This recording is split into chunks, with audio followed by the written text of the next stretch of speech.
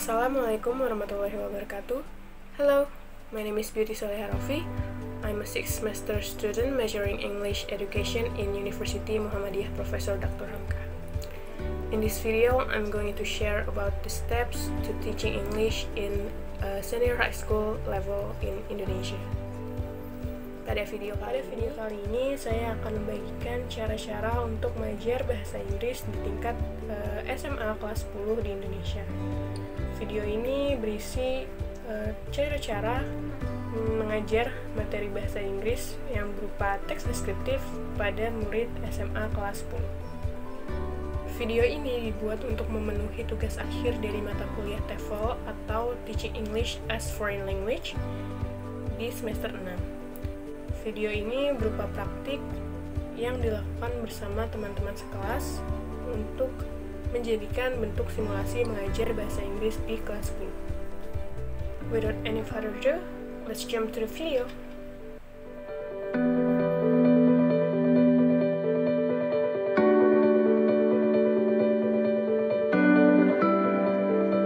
Assalamualaikum warahmatullahi wabarakatuh. Good afternoon, class. Good afternoon, Miss. Assalamualaikum warahmatullahi wabarakatuh. Good afternoon, Miss. Okay. Okay, before we start the lesson today, I would like all of us to start with Bismillah. Let's say it together. Okay, now, uh, kepala kelas kita mana ya? Saya, Miss. Yep, Nur Ivana, uh, tolong dipimpin doanya. Uh, baik teman-teman, sebelum kita mulai uh, kelas hari ini, alangkah baiknya kita berdoa menurut agama masing-masing. Berdoa dimulai. Uh, berdoa selesai. Oke, okay, berikutnya uh, untuk kehadiran, daftar kehadiran, saya ingin minta tolong kepada kelas kita, Rifana, bisa screenshot untuk daftar kehadiran kalian ya. Uh, baik, ma'am. Dari screenshot ya, ma'am. Sepertinya hadir semua, ma'am. Baik, terima kasih Noivana. Before we start our lesson today, uh, kira-kira ada nggak nih yang uh, ada cerita selama pandemik ini? Karena kan kita semua hanya di rumah lah ya. Kira-kira ada nggak yeah. yang punya cerita uh, selama pandemik ini? Last week I went to I went to Samudra with my family. Oh, really? Wah, teman-teman, pas banget nih. Ternyata materi yang mau kita bahas hari ini berkaitan sama apa yang udah Cynthia kasih tahu ke kita. Uh, izinkan Miss untuk share screen sebentar ya. Iya, Miss.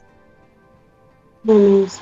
Oke, okay, jadi materi kita hari ini tentang descriptive text. But before we start our lesson today, I would like to share our learning aims atau tujuan pembelajaran kita. Yang pertama, Eh, melalui menonton video penjelasan terkait teks deskriptif, peserta didik dapat mengidentifikasi unsur-unsur teks deskriptif, mulai dari fungsi sosial, struktur teks, dan karakteristik dari teks deskriptif dengan benar. Yang kedua, ada melalui diskusi dan tanya jawab, peserta didik dapat menentukan fungsi sosial, struktur teks, dan karakteristik dari contoh teks deskriptif yang disajikan dengan tepat. Sekarang, uh, Miss mau tanya, Kira-kira ada yang tahu nggak deskriptif teks itu apa? Uh, iya, Miss. Jadi kayak buat mendeskripsikan sebuah teks itu kan, Miss. Oke. Okay. Jadi buat masuk ke materi kita, Miss punya video.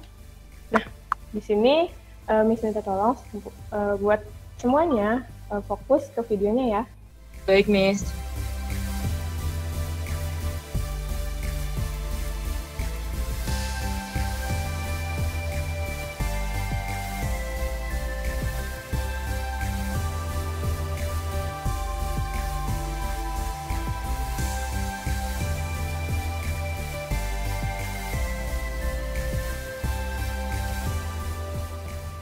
Oke okay, kelas, so dari video yang udah dilihat, uh, kira-kira ada yang bisa ngasih kesimpulan atau ngasih um, point out sesuatu? Yes, Miss. So descriptive text is uh, a text that describe a place, a thing, an animal, or etc. Betul. Coba uh, yang lainnya selain Fatia. Coba Regita. Uh, iya Miss, jadi uh, dalam descriptive text uh, yang sudah dijelaskan dalam video YouTube tersebut, uh, saya melihat ada uh, dua uh, struktur yang digunakan dalam uh, descriptive text. Yang pertama ada identification sama description. Ya, betul. Terima kasih Fatia dan Lita. Jadi, descriptive text adalah salah satu jenis teks dalam bahasa Inggris yang menggambarkan dan menjelaskan informasi mengenai sesuatu seperti manusia, hewan, tumbuhan, tempat, maupun benda. Dan tujuan dari descriptive text adalah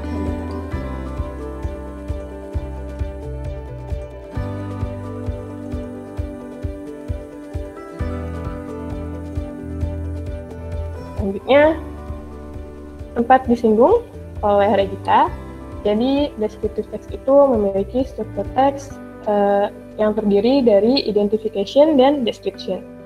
Yang pertama, identification.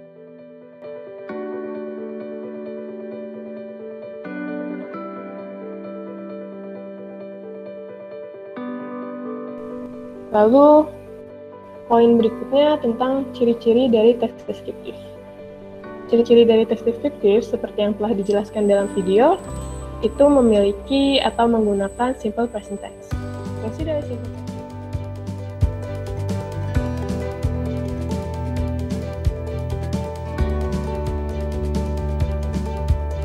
kita lihat di sini ada gambar uh, negara.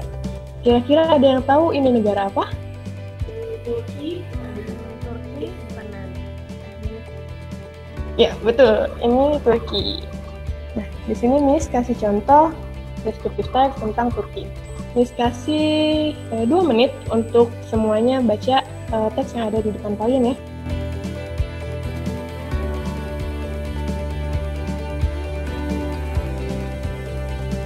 Oke, di sini kan ada dua paragraf ya. Uh, coba Cynthia, dari yang warna ungu itu, itu kira-kira masuk ke generic structure uh, bagian apa? Menurut saya yang bagian ungu itu identification, Miss. Kita lihat. Ya, betul. Itu identification. Jadi identification itu memperkenalkan objek yang akan dideskripsikan. Di sini kan dia menjelaskan Turki uh, secara general atau secara um, umum yang telah diketahui semua orang. Kemudian di paragraf kedua itu kira-kira apa? Coba Nur Indah? Yes, Miss. Um, paragraf kedua menurut saya itu adalah description, Miss. Bagian description. Ya, betul. Terima kasih, Nurina. Ya, jadi bagian kedua itu description. Kenapa description? Karena dia menjelaskan lebih detail tentang fungsi. Itu kan objeknya. Jadi di paragraf kedua itu dia menjelaskan lebih seperti sekarang kita analisis tentang spesifik statistik. Coba Alif spesifik partisipannya apa?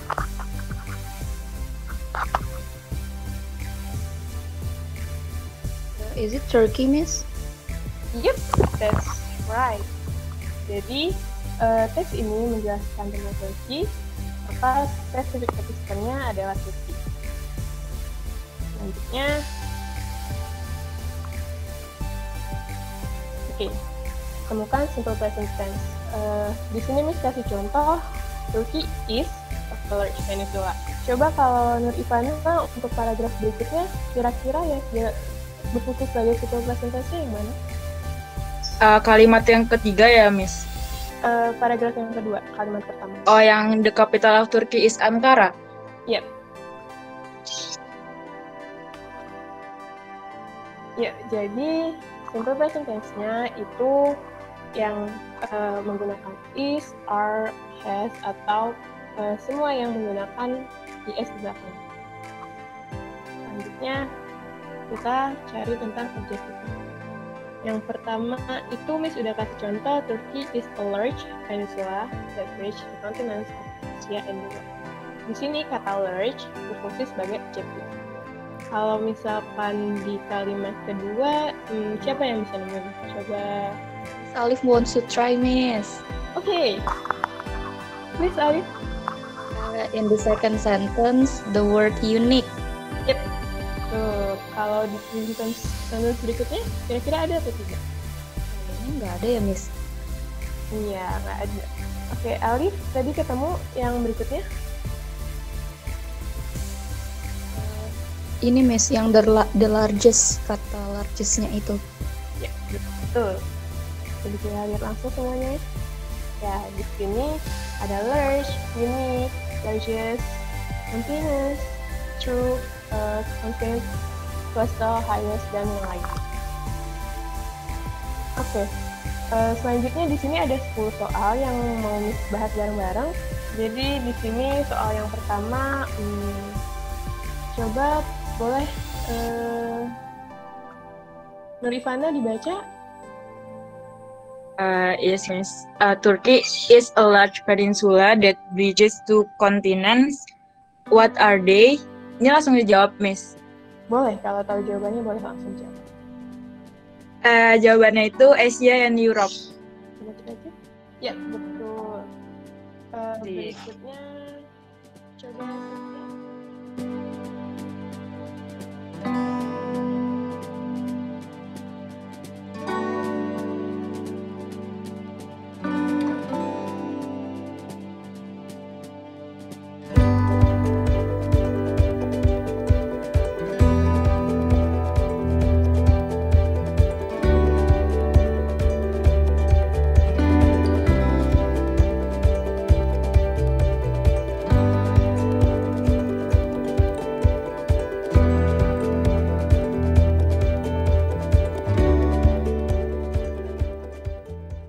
Oke, next Miss punya eh, LKPD atau eh, lembar kerja peserta didik untuk kalian.